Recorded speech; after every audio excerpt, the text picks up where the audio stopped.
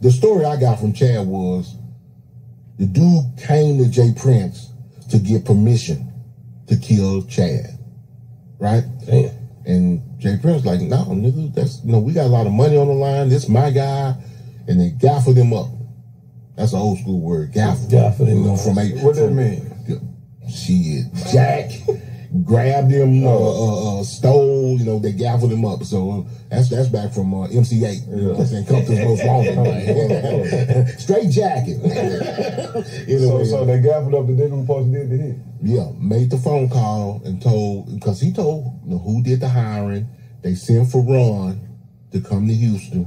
Ron come to Houston. They had a sit down.